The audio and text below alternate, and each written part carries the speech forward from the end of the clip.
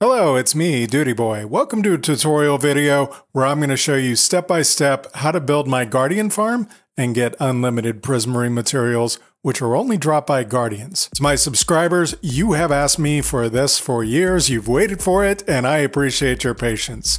Almost 360 of you subscribed to this channel because of a video I posted in June of 2021, which was created during a survival let's play session and presented as a kind of half let's play, half tutorial. In this video, I'm going to focus on the second Guardian farm I built in that video, which is my original design and I've made some improvements to share with you today. This farm does require you to drain all the water within the bounding box of the Ocean Monument. When the player is at the AFK spot over the farm, it spawns guardians in four water chambers surrounding a drop pit. Soul sand at the bottom of these chambers pushes the guardians up and out of the bounding box of the Ocean Monument, removing them from the local mob cap and drops them into the central pit. Fall damage should kill or greatly weaken most of them, and there are campfires down here to help finish them off quickly and maintain the farm's efficiency. The items are then collected in hoppers and immediately dropped into a water stream that flows into a storage system.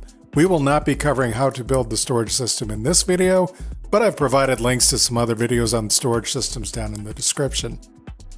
Here's a full list of materials you'll need to build this Guardian farm according to this video, including the surrounding walls. All of the Prismarine blocks and sea lanterns listed here will be acquired in the process of tearing down the ocean monument. If you don't want to use cyan glass, you can use any glass blocks or just use more prismarine blocks instead. I personally like to watch the Guardian spawn and fall into the center chute. The white stained glass is optional, or instead you could use this same quantity of string. At the end of this video, I'll be showing you how to use these materials to exploit pack spawning mechanics to increase the output of this farm by more than double. For tools, you will need a sword, or preferably a trident enchanted with impaling or loyalty at minimum, 1 to 4 pickaxes, or a pickaxe with unbreaking 3 and mending, and a couple stacks of bottles of enchanting to repair it. And you'll need a shovel or some torches. You also need at least 3 TNT and 3 redstone blocks to ignite them. Some stacks of dirt and or scaffolding is also necessary, and you need two buckets for water. The work you're going to do requires a large volume of invisibility potions, almost three shulker boxes worth.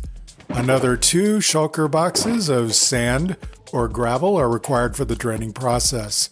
You'll also want 10 to 14 obsidian and a flint and steel to create a portal to the nether. A conduit would also be helpful, but if you don't have one, then night vision and uh, water breathing potions will also help. You also need sponges to drain the water, but you can find these inside the ocean monument. The first step is to find an ocean monument. The website chunkbase.com has an app that can help you find one in your world, or you can simply explore deep ocean biomes until you find one. If there is no land nearby, then set up a platform of temporary dirt blocks roughly 50 blocks away from the monument. Raise kelp from the ocean floor so you can place a block on the surface. Build a camp here with storage for materials, a bed, and a campfire so you can cook raw cod to eat and light up the area. Start off by attacking the ocean monument. Remove all but one piece of your armor, consume an invisibility potion, and approach the front of the monument. The three Elder Guardians inside the monument are your targets. There is one in the top level and two more located in these front wings of the lower levels. The Elder Guardians will hit you with mining fatigue immediately, even if you're invisible, so you won't be able to break the blocks to get inside. Instead, place a TNT block on top of the monument. Surround it with sand or gravel blocks. Place a redstone block directly on the TNT and swim away to avoid the blast.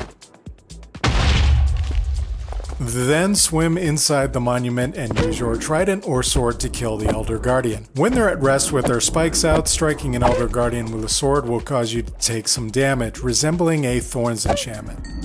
However, when the Elder Guardians are swimming, their spikes will be down and you can keep striking them until dead. This damage can be avoided with a trident. Repeat this process with the two other Elder Guardians. Be advised the two in the lower wings may swim to another location deeper in the monument, so be prepared to search for them. By the way, Elder Guardians always drop a wet sponge block and also have a small chance of dropping the Tide Armor Trim. These items might float upwards, so swim near the ceiling or check on the water's surface. When the Elder Guardians are dead, they will not respawn, and you will no longer suffer from mining fatigue. Use more invisibility potions and start demolishing the monument. Remember earlier I said you could wear one armor piece? I recommend diamond or netherite boots with the depth strider and feather falling enchantments. I also recommend starting from the inside as collecting blocks from the ceiling will be faster than swimming all the way up to the water's surface. When you have 42 prismarine blocks on hand, which can include sea lanterns, you can construct a conduit directly under the center of the monument to enjoy benefits such as infinite water breathing, haste,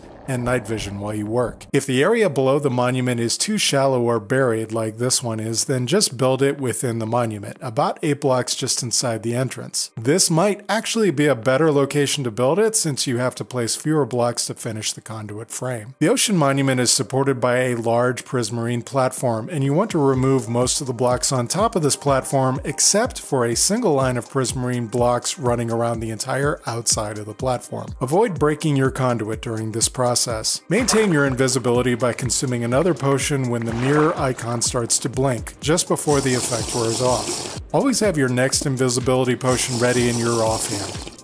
If a guardian spots you and starts attacking, swim away and go behind blocks. Consume another invisibility potion and you should be able to return to work. As you tear down more of the monument, the guardians will begin to cloister around the remaining upright blocks. I'm not sure why they do this, it could just be a bug in their pathfinding. If a guardian swims between you and a block you're breaking, don't freak out. Just quit mining and resume when clear. Avoid striking the Guardians while demolishing the structure or they might detect you and attack. With the monument gone, fill in the gap between the two front areas of the platform so that you have a solid base to build on. Note the 4x4 sections of prismarine bricks spaced around the outside of the platform. I recommend recreating one of these in the center of the gap like so. Also, connect the single line of prismarine bricks running the perimeter. Now build walls from the base to the surface on all four sides of the platform using the blocks collected from demolition. I chose to alternate four wide sections of prismarine brick with five wide sections of cyan glass. These sections align with the squares of prismarine brick on the platform at the edges. Line the top with more prismarine bricks and center a sea lantern over each glass section to prevent spawns on the wall. However, you can use any material or design you prefer. This wall design is simple for a reason. It allows you to place a large quantity of blocks without thinking too much, allowing you to keep a closer eye on your invisibility icon. Note that you can also wall off and drain a wider area around the monument if you prefer, and doing so can actually help with the efficiency of the farm. We'll touch on this more later. Now you're ready to drain the area. Continue using invisibility potions from your hotbar as you work. Using sand or gravel, move 4 blocks in from the side and start placing the gravity blocks against the wall. Keep sinking gravity blocks until you have a column of sand, and then continue adding more columns until you have a full wall across the entire area. I use the shift key to back out over the edge of the last sand column and I aim at the top of the second sand block down. This seems to allow you to drop the sand more quickly.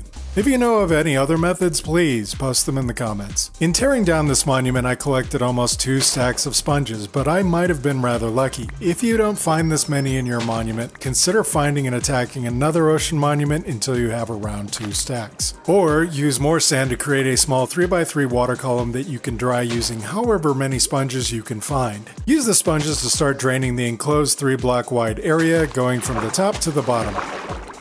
When done, punch all the sponges you can reach to collect them. To get back to the top, simply break a gravity block to create a column of water and swim up. Continue collecting the wet sponges across the drained area. To dry and reuse your sponges, build a nether portal on the sidewall. Light it and go to the nether. The nether is so hot that when you place sponges on the ground, they will dry instantly. While punching a large quantity of sponge blocks takes several minutes, the alternate method of drying them in furnaces takes even longer and uses fuel. When done draining the first segment, dump another wall of sand 4 blocks away with a 3 wide section of water between. Drain this section the same way. You can then take down the previous wall and reuse these gravity blocks to wall off another segment and drain it. Continue doing this until you've drained the entire area. When you reach the far end, you'll very likely have a 4 wide section of water. Reduce this to 3 wide by creating two sand walls within it, and then you should be able to drain it just as easy. Find the center of the platform. You can do this by pressing F3 and G to turn on chunk borders. The center of the monument is always marked by the centermost chunk border line. This can be a bit difficult to see and figure out, so another way to find the center is by using temp blocks to draw a line diagonally across the platform and then draw an intersecting line to find the center. Place four blocks around the center to mark it. From the corner, go out two blocks and place a new corner block. Do this on all four sides, connect these, and remove the center blocks. Move to the corner of this square, go straight out three blocks and place a block here. Place five blocks behind it and another five blocks this way. Fill in the other two sides to form another square. Build three more squares like this on the other three sides of the center square. The center square is the drop chute and the four around it will be water tanks. Place a block on each corner. Fill in the walls between with either prismarine blocks or cyan glass, or a mixture of both like I've done. On the first level only, fill the middle with soul sand.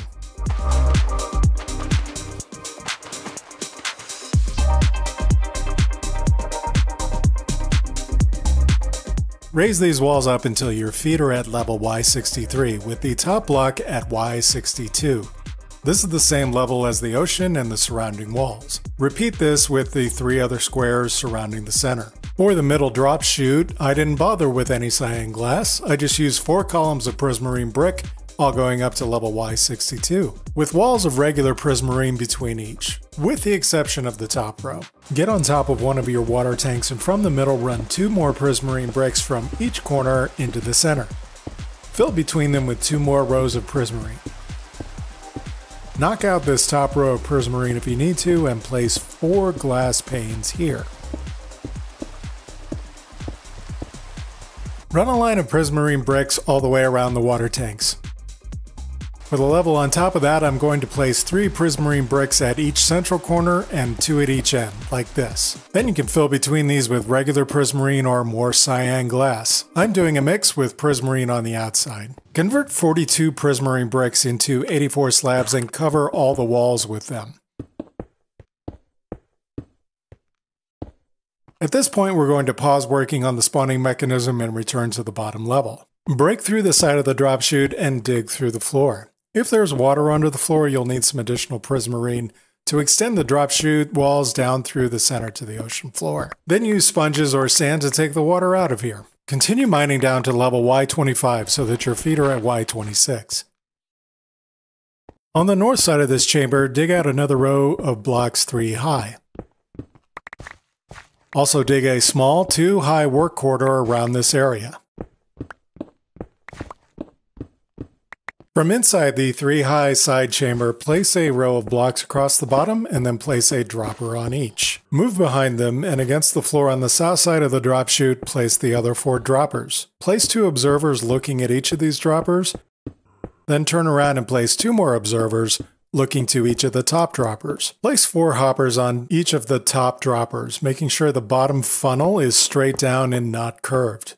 Then place a redstone comparator coming out of each hopper. Run a line of blocks behind the comparators and then place a redstone torch behind each block. Place another row of hoppers on top of the first row and then place three more rows of hoppers going into the first row, making sure all the funnels are going forward.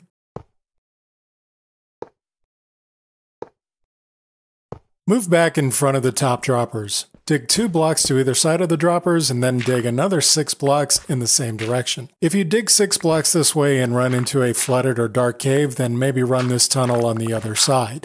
These six blocks are where you can build your storage system, so go ahead and do that now. I built the auto sorting storage system designed by Impulse SV with two columns for prismarine shards, two for prismarine crystals, and two for raw cod, which would go in here. I also built a drop chute and a bubble column to get up and down quickly, and given more time, I would probably decorate this room with prismarine. After building your sorting system, pillar back up to the area above the collection hoppers and close up the wall behind you. Take out the block in the floor between the hoppers and the droppers and replace it with packed ice or blue ice. Place a top half slab over the ice and then dump a bucket of water on the other side of the slab. Fill in the space above the slab with a block so items don't get stuck on top of it. Place a block if needed and dump another bucket of water here to form another water flow going the same direction as the previous. Fill in the rest of your work corridor and then pillar up, knocking out the blocks above you and placing them below you until you are just above the hoppers. Stop here and place campfires on every hopper, starting on the far side and working your way back to your pillar. Then continue pillaring up by mining upward and fill in below you until you reach the base of the farm. Close up the walls.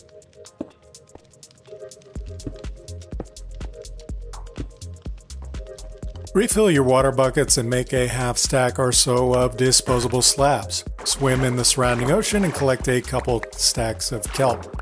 Then fly, scaffold, or pillar your way back up to the top of the farm. Cover the top of a water tank with slabs, then place two buckets of water one space apart. Refill them both from this middle source block and then fill this other. Then take out the slabs. If done right, the water should flow over the glass panes at the end. Do this on all four water tanks. Swim to the bottom of a water tank and place kelp on one side going all the way up, but not into the source block above the tank. Then place kelp on another side going all the way up. These center water blocks will become source blocks and will start bubbling. Swim down to the bottom of the kelp stalks. Standing at the corner, aim down and punch out all the kelp stalks at the base. The bubble columns will force you to the surface. If you did this fast enough, the water flowing on the surface should be fine.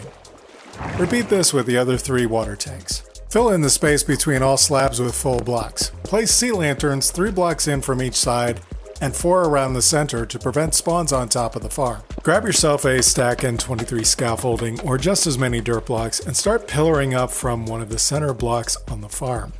On top of this pillar, place a glass block. Your feet should be at Y154. Use the extra clear glass I threw into the materials list to create a 6x6 platform here. Pillar up two more blocks and place one to four slabs here as a roof to protect you from phantoms while you AFK here. I've created a 128 block spawning sphere here at the player's AFK position just to show you that the player's spawning radius ends just below the bottom droppers.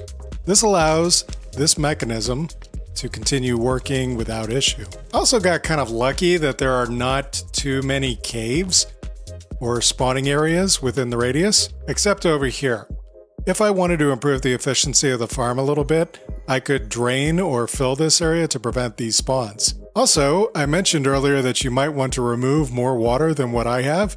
If that's the case, consider all of the water inside this circle on the water's surface to be disposable. The farm is now complete, and if you AFK here for over an hour, you should get around 15,000 items according to my testing. However, you can double the output of this farm by exploiting pack spawning mechanics. I'm using the MiniHUD mod to show you the bounding box of the ocean monument.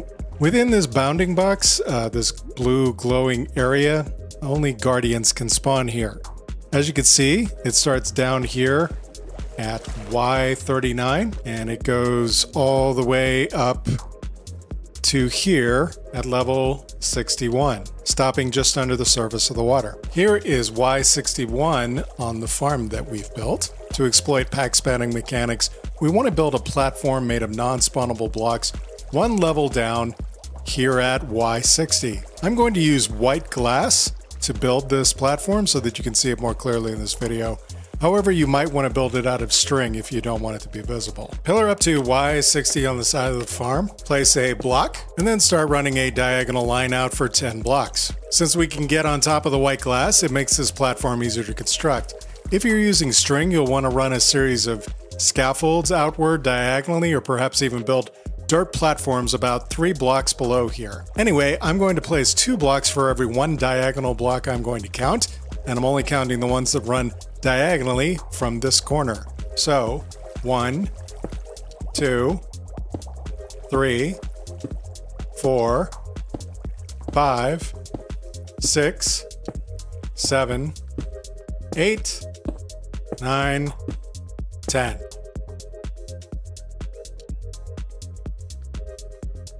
Then pillar up to the inner corner of the farm and place 10 blocks diagonally from the corner of the drop chute. Now connect all the outer blocks and fill in every space between them. When you're done, you will have non-spawnable blocks in this pattern surrounding your farm. Make sure to place non-spawnable blocks under these bridges as well. With this additional fix, my testing on this farm produced over 31,000 items per hour. That's without removing the additional sphere of water around the farm that I showed you earlier. I hope you see similar results if you try this, and please let me know down in the comments. I hope you found this tutorial useful. This Guardian farm is a lot of work, but it looks great and has great output, and if you build this in your world, I sincerely hope you enjoy it. Thanks for watching, and see you again soon.